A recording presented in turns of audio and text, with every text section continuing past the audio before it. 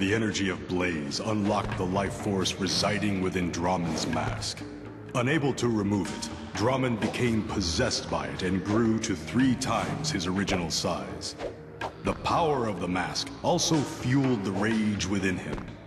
Unable to contain his fury, Drahmin turned on his former ally, Moloch, in an epic battle of demons.